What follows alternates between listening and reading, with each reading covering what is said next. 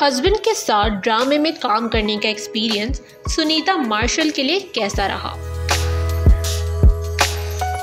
Sunita is a brilliant actress and model of Pakistan Sunita का recent drama serial baby बाजी काफ़ी hit हुआ। इस ड्रामे में सुनीता अपने हस्बैंड हसन अहमद के साथ नज़र आई।